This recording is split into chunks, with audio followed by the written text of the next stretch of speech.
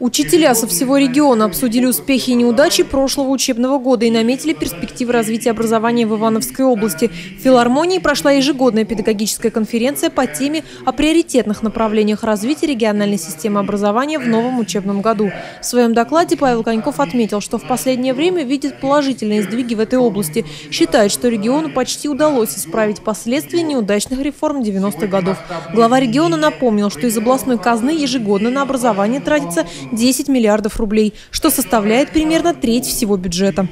Сегодня образование – это очень мощная сила, которая дает человеку уверенность и свободу в выборе жизненного пути, возможность реализации своих способностей.